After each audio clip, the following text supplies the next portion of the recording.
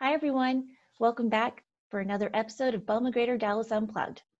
I thought about skipping this week, you know, give you guys a break, but I couldn't not have an episode on thankfulness. So, first thing I'm thankful for is for the short week. Who doesn't love a short week? Yay! I'm also thankful for the people that have given their time to talk with me as I highlight them in our vlog. It takes a lot of time during their day to speak with me. So that's why I'm so very thankful for each and every one of you guys for just riding riding this journey with me through these vlogs. But if you've missed some episodes, let me suggest a couple. We did have a couple technical difficulties, so maybe you missed these. Episode 24 and 26. Episode 24 is a conversation that I had with my old high school teacher. Although he's not, he doesn't work for, he's not a teacher for Westwood High School anymore. He's actually in association management. And our conversation was about why having a membership in an association right now is so important. But also, you know, he's just such an engaging, exciting person. He, anytime you hear him speak, he, he just makes you smile.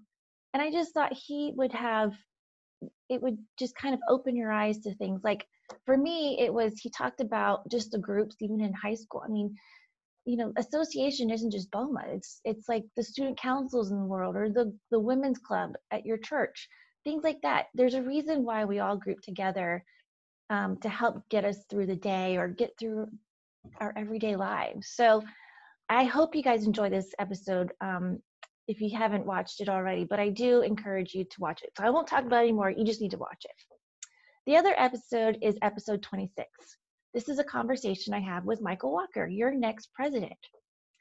We talk a little bit about his theme and what he's most excited about for the year, and you all are just in store to be inspired by Mr. Walker. He is passionate about where, where we're headed, and I'm excited to share that excitement with you. I'm excited for his year, and I hope that you feel the same way after you watch the episode. I'm thankful for the assistance that we've been receiving, especially while we look for our new executive director. I'm very thankful for our search committee Carrie McCampbell, Ray Mackey, Steve Broom, Courtney Keebler, Michael Walker, and Jacqueline Bird. Without this group, I don't know where we would be. I, I've just, I've, I'm just so thankful that I'm going through this journey with them because with all of their insights and everything, it's been really a good journey to go through. And I'm also um, thankful for Pena Search. They've been working hard for us. They've gone through 2,000 resumes to give us the top 25 candidates. And then from there, we went to choose four people to talk with. And then we chose two people to give us a presentation on what they would do as soon as they got into the office. What would their 30, 60, 90 day plan be like? And we had someone and that we already had signed letter offer and everything. And unfortunately, I got a call a couple weeks ago that he is staying put. And I was so excited for you guys to meet him because I he was just so innovative. And when he talked, you were just in awe and just ready to go. And he had some great ideas. But you know, that's okay. It's okay that next Monday was going to be his first day because that just means that we're we're just that much closer to our executive director. So I'm not I'm not, you know, too sad about this quite yet because I know there's someone there that's for us and and we'll find that person. I'm thankful for the people that have stepped up during this time to keep Boma Greater Dallas going. As you all know, Jacqueline Bird was acting as interim executive director for us. And she got a pretty good taste of what it's like behind the scenes. She'll be ready to be president in a couple of years. I'm so grateful for her stepping up during this time, but however, she must transition into her full new full-time job. And I will forever be thankful for Jacqueline for her hard work for these last five months. As Jacqueline moves on, we've asked Bernadette Jaramillo Peck to be our next interim executive director. And she's no stranger to the BOMA world. And her husband is Jim Peck, former BOMA International Chair but she also helped BOMA, New Mexico too. So Bernadette has agreed to assist us through this time.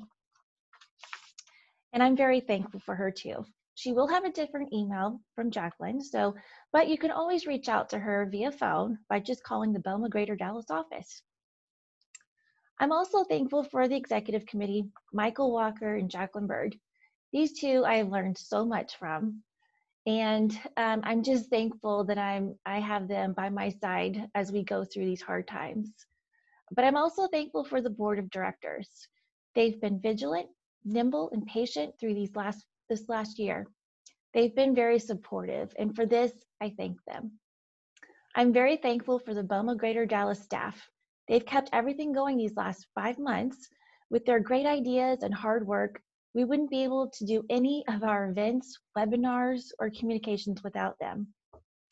And I'm thankful to our BOMA family, especially to those that have personally reached out to see how they can help, or even those that have agreed to step up to do a webinar or to be part of a task force, or even just providing thoughts and ideas on what they're needing right now. We would not be BOMA Greater Dallas without you all. So I appreciate you all for taking the time and sharing your thoughts and concerns because that's what we're here for. We're here for you. This year's been difficult, but I've said it before and I'll say it again. We're going to get through this together.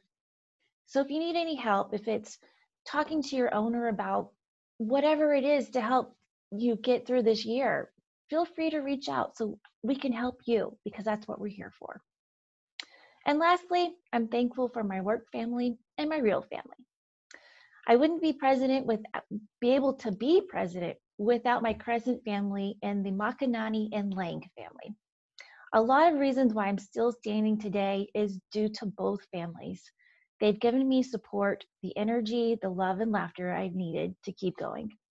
It's kind of like running a marathon. Every little shout out helps to get you closer to that finish line, right? Although, let's be real, I don't think I'll ever be running a marathon. I can only do 5Ks and maybe a five mile run, but still, it really feels like we're going through a marathon. But, anyways, I thank you all so very much. And I hope that you and your families have a safe and blessed Thanksgiving. Cheers to you all. Thanks.